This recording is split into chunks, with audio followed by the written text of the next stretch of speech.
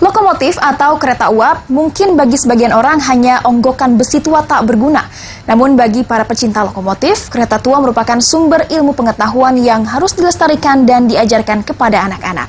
Nah, di Salt Lake City, Utah, Amerika Serikat, sekelompok pelestari lokomotif mengajarkan lokomotif kepada anak-anak untuk mengisi liburan dengan kegiatan yang menyenangkan.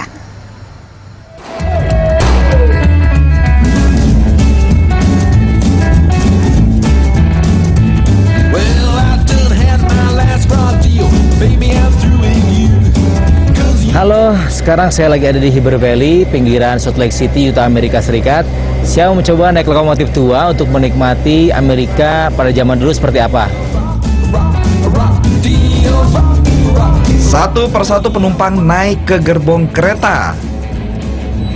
Tapi kereta yang satu ini bukan sembarang kereta loh. Melainkan lokomotif tua buatan tahun 1899.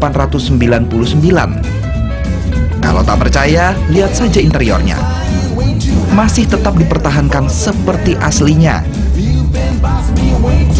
Selain menikmati perjalanan bertemakan sejarah dengan loko tua, saya dan sejumlah penumpang juga ingin menikmati panorama indahnya pegunungan Wasatch yang menaungi negara bagian Utah di kejauhan. They've never been on a train before, and so it'd be a good opportunity for them to ride a train and at the same time, you know, see some history of how people used to travel.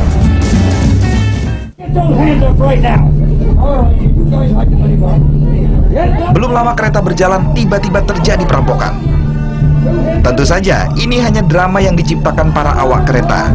Tujuannya supaya penumpang bisa merasakan secara nyata bagaimana berkendara di barat Amerika pada zaman koboi. Para perampok marah. Mereka merasa tertipu karena peti yang mereka sangka berisi uang ternyata berisi boneka. Walhasil, sang kondektur yang menjadi sasaran kemarahan. I think it was really exciting because I didn't know it was really going to happen.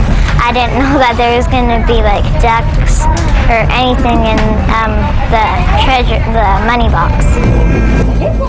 Namun kondisinya kemudian berbalik. Sang perampok tertangkap tangan oleh kondektur kereta dan dia pun menyerah. Seru banget tadi ada usaha perampokan ceritanya seperti zaman-zaman koboi. Lucu emang tegang. Saya kira itu beneran karena mereka bawa pistol banyak banget. Sekarang giliran sang perampok berubah menghibur penumpang. Sebenarnya drama perampokan tadi hanyalah hiburan semata. Wisata kereta tua ini sebenarnya bertujuan mendidik warga Amerika tentang sejarah transportasi pada masa lalu. We do. We have tremendous problems all the time. We're constantly broke and we're constantly searching for funding from many different options um, to restore train cars and to maintain the railroad.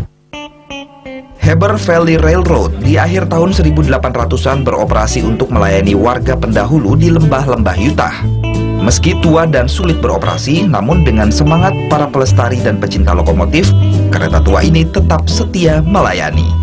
Jajang di Raja Negara dan Rafli Eka Putra, Salt Lake City, Utah, Amerika Serikat, melaporkan.